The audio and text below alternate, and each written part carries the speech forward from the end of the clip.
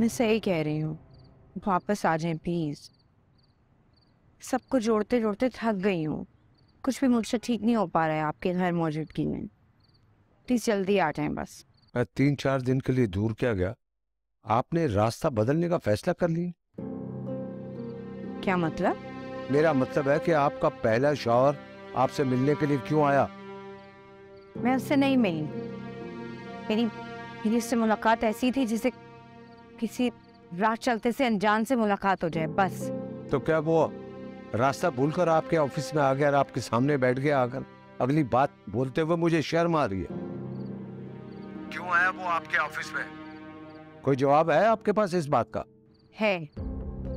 लेकिन मैं कहूँगी नहीं क्योंकि मुझे ऐसा लगेगा जैसे मैं आपसे माफ़ी के लिए मिन्नतें कर रही हूँ बल्कि अपनी सफ़ाई पेश कर रही हूँ। आपको मुझ पर भरोसा नहीं है वकार अगर ऐसा होता ना। तो मैं अपना घर अपना सारा बिज़नेस आपके हवाले करके नहीं आता। तो?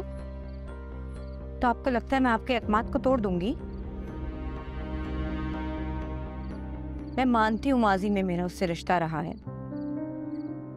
लेकिन अब वो मेरे लिए बिल्कुल अजनबी है। मेरी उससे पहली मुलाकात महज इत्तेफाक थी।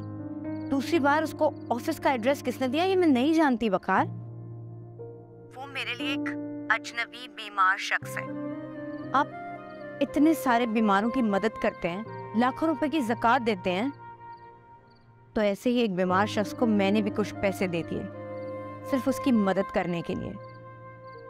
इससे ज़्यादा मेरा उससे कोई रिश्ता नहीं है। और आप सुन लीजिएगा वॉइस मैसेज मैंने आपको पहले भेजा हुआ है जो कि आपने अब तक सुना नहीं। अपना फ़ोन चेक कर सकते हैं आप।